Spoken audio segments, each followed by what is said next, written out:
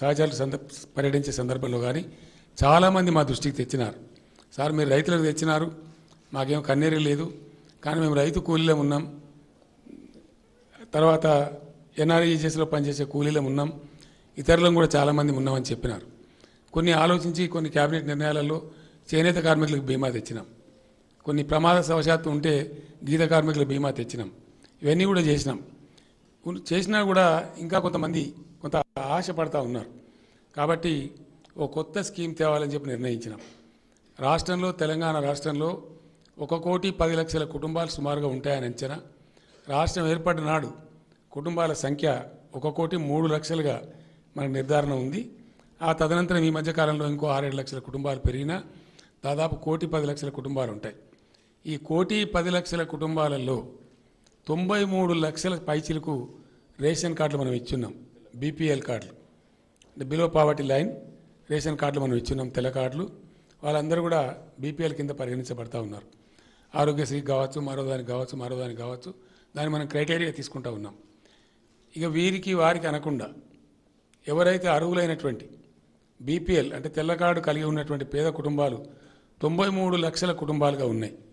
దాదాపు ninety percent పై పైచీలకు కుటుంబాలు ఉన్నాయి ప్రభుత్వం తీసుకున్న ఒక గొప్ప నిర్ణయం ఏంటంటే మేము రేపు గెలిచిన తెల్లారి నుంచే ఈ వచ్చే బడ్జెట్ సంవత్సరంలోనే మార్చి తర్వాత వందకు వంద శాతం ప్రభుత్వం ప్రీమియమే చెల్లించి ప్రీమియం ప్రభుత్వమే చెల్లించి రైతు బీమా తరహాలో ఈ కుటుంబాలన్నిటికీ కూడా కేసీఆర్ బీమా ప్రతి ఇంటికి ధీమా అనే పద్ధతిలో బీమా సదుపాయాన్ని కల్పించాలని చెప్పి ప్రభుత్వం నిర్ణయించింది.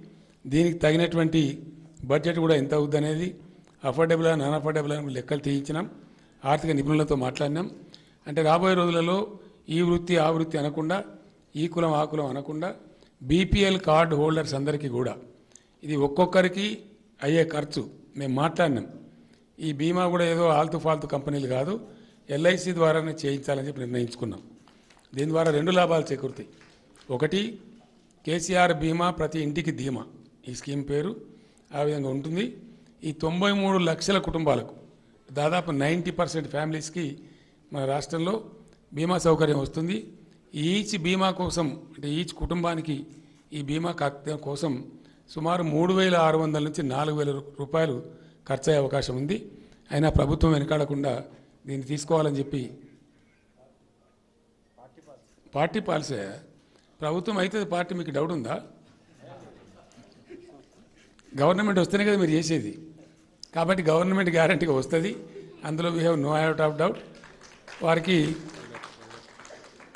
ఐదు లక్షల రూపాయలు వచ్చే విధంగా. ఇది యాక్సిడెంట్ కాదు.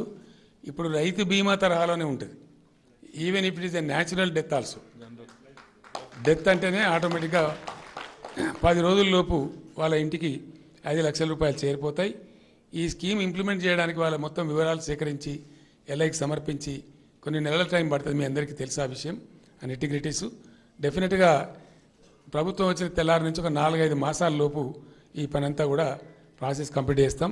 అంటే జూన్ ఆ ప్రాంతం నుంచి ఇది ఇంప్లిమెంట్లోకి వచ్చే అవకాశం ఉంటుంది. ఆ రకంగా ఇది మంచి పాపులర్ స్కీమ్ ఇది. ప్రజలందరికీ కూడా సంతోషం కలిగించేది కాబట్టి అన్ని కుటుంబాలకు ఒక రక్షణ కవచం ఉంటుంది కాబట్టి ఎల్ఐసి లాంటి సంస్థ ద్వారా అయితే పూర్తి ఇది కేసీఆర్ బీమా ప్రతి ఇంటికి ధీమా అనే పద్ధతిలో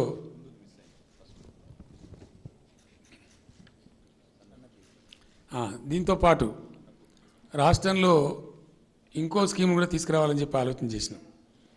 ఎందుకంటే మూడు కోట్ల పైచీలకు టన్నుల ధాన్యాన్ని పండించే తెలంగాణ ఇలా ఆకలి పోయింది. తెలంగాణలో ఆకలి లేదు.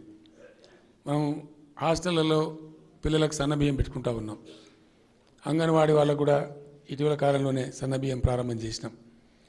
ఇంత అన్నపూర్ణలాగా తయారైన రాష్ట్రం ఇంత పంటలు పండిస్తున్నటువంటి శ్రమజీవులు ఉన్నటువంటి రాష్ట్రం మరి రాష్ట్రంలో